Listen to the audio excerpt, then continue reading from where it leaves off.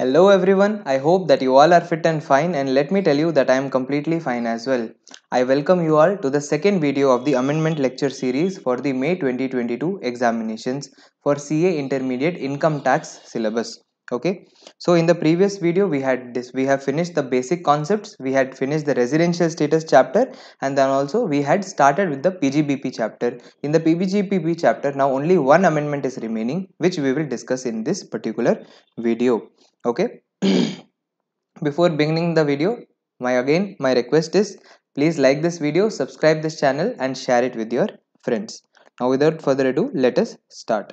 So we know that depreciation is allowed only if three conditions are satisfied. Condition number one is that the assessee should be the owner of the asset. Condition number two the asset should be used for business or per profession and condition number 3 is that the asset should be a depreciable asset. Asset should be a depreciable asset. Now I, we know that there are two types of depreciable assets tangible assets and intangible assets. In this video i am going to discuss about tangible assets. So tangible asset is itself a class of an asset and tangible asset includes know-how, patent, copyright, trademark, license, franchisee or any other business or commercial right of similar nature. Till the previous examination, this was the definition that we were learning about intangible assets. Now what has happened? Now what has happened? The definition of intangible asset has changed and it is including the wording not being goodwill of business or profession. BP means what? Business or profession.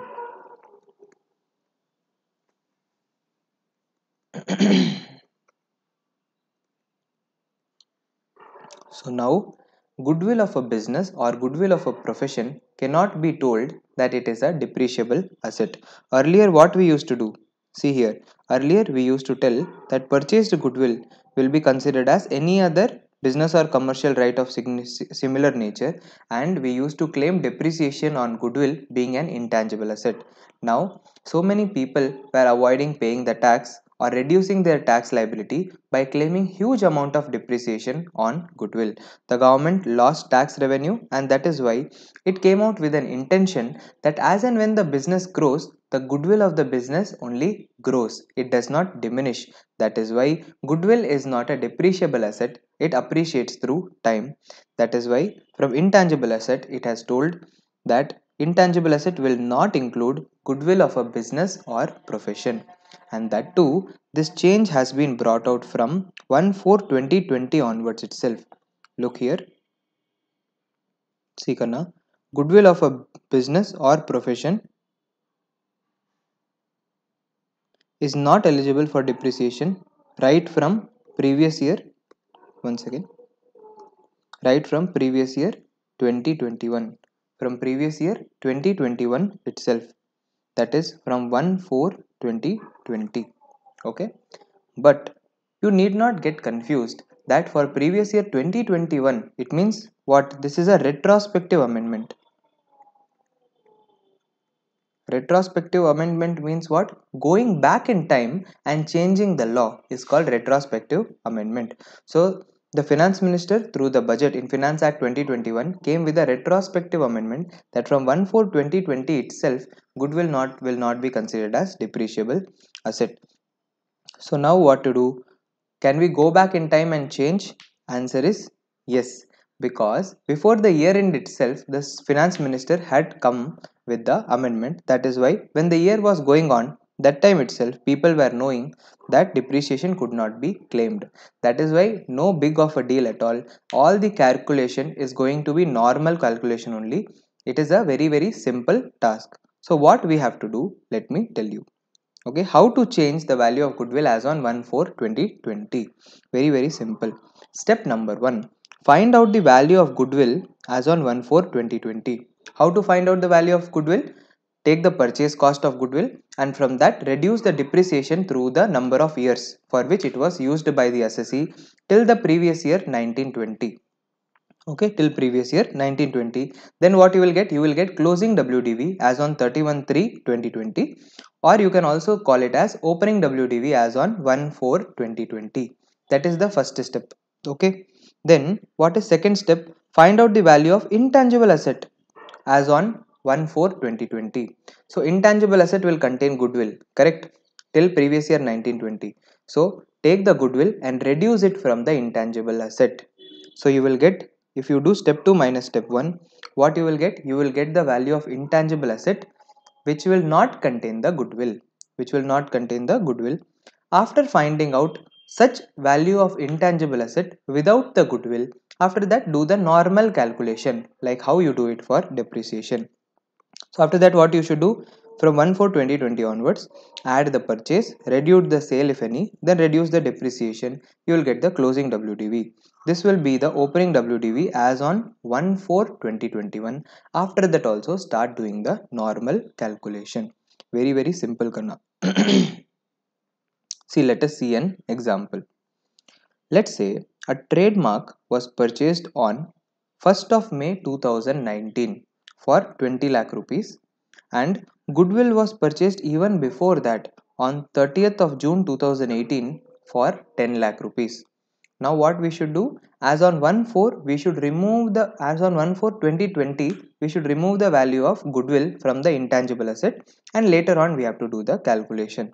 So firstly what you will do? Find out the value of goodwill as on 1 4 2020 for that first take the purchase price when was it purchased karna? In the given example it is purchased on in previous year 2018 19 so now what we have to do?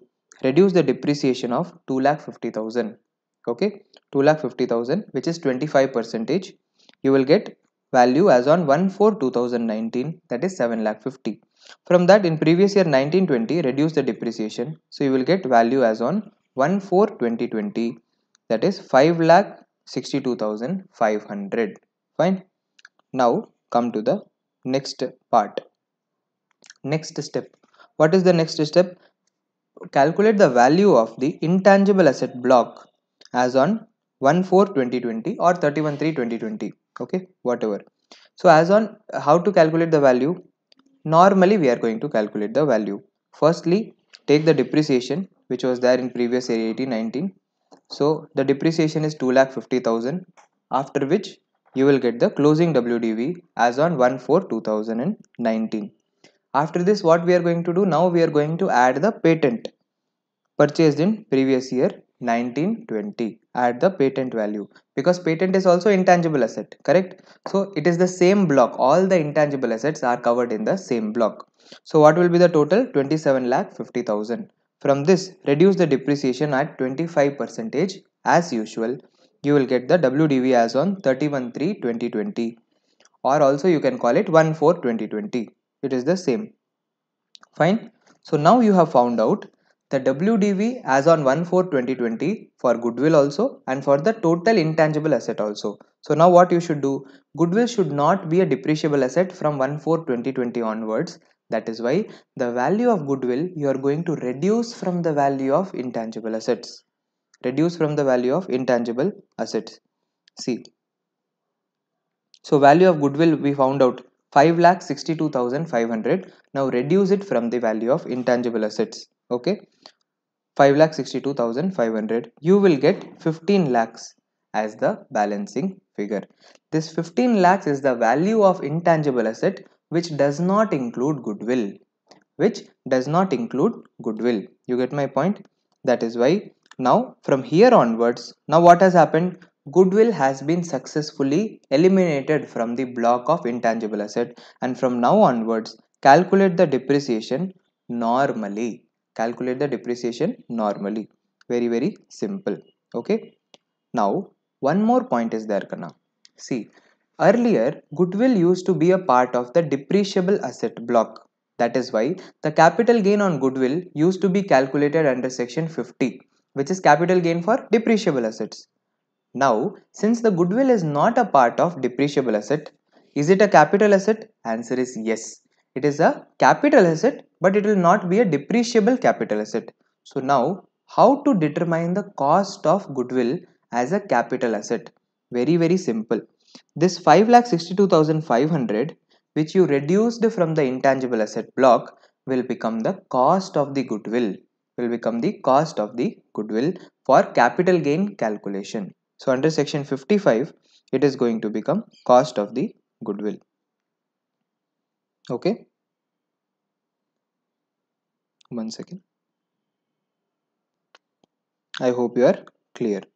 So then after that previous year 21 22 as usual you do the calculation. And then however note amount of goodwill which is to be reduced cannot exceed the WDV of intangible assets. WDV of intangible assets. So now what if in this calculation the WDV if at all this comes as 25 lakh 62 500 what if it comes as 25 lakh 62 500 in such case what to do? Can you reduce? One second. Can you reduce 25 lakh 62 500 from here? Answer is no. Because if you reduce 25 lakhs from 20 lakhs then the value will be minus 5 lakhs. It will become minus 5 lakhs. Minus 5 lakhs cannot be a value of an asset. That is why maximum how much you can reduce? You can reduce maximum only 20 lakhs 62500 that is what i have already told you. Let's see here amount of goodwill reduced cannot exceed the value of the intangible asset block. You get my point? I hope you are clear with this. So this is how you will exclude the value of goodwill from the value of the intangible assets that you are getting. And then the value that you exclude from intangible asset is going to become the cost of the goodwill in the capital gain chapter. While taking the capital gain amendments i am not going to repeat this point. I am taking that point here itself okay? So this was all the amendments that are there in the pgbp chapter. Now the pgbp chapter also you can learn thoroughly. And obviously you are also going to get the revision lectures for pgbp chapter which are available on my youtube channel. You can see those revision revision lectures revise pgbp and score good marks in the examinations after practicing the questions. So i wish you all the best. And with the remaining exam remaining amendments we will discuss in the next video onwards. See you in the next video dear. Till then take care. Bye bye